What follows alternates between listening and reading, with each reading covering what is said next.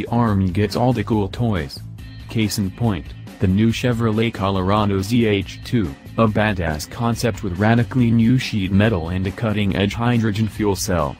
Developed by General Motors and the U.S. Army Tank Automotive Research Development and Engineering Center, the ZH2 will study the feasibility of the advanced powertrain tech in combat vehicles. That starts with the fuel cell and electric motor. Many of the advantages inherent in electric vehicles apply to military applications.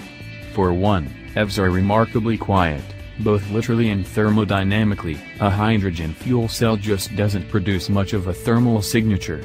And even though GM doesn't cite a specific output for the ZH2's system, it does claim high wheel torque at all speeds, is available. Each of those points is true of civilian spec FCVs, but this military vehicle goes a step further than a Honda Clarity. There's also an exportable power takeoff unit, a detachable, rechargeable battery which GM says provides 25 kilowatts of juice to power activity away from the vehicle.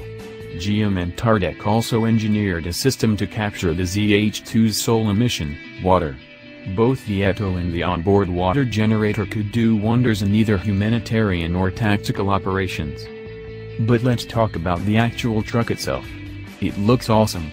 Standing over 6 foot 5 and stretching over 7 feet wide, the ZH2 is much more imposing than a road-going Colorado. The menacing face, strong hood, and concealed cargo area are great looks, although considering the US military's near constant woes over what kind of camouflage pattern is in vogue, we're wondering how the Tardec brass feel about the old-school women's paint job.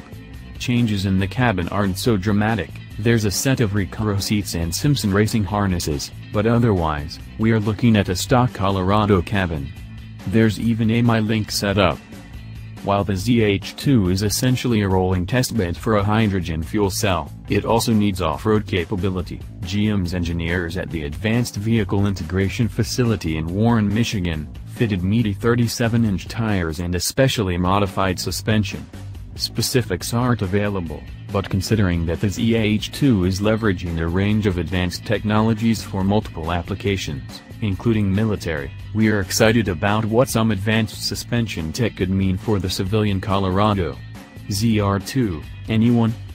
GM will handle ZH2 testing at its Milford Proving Grounds until early next year, before handing the truck over to the Army for testing in extreme field conditions.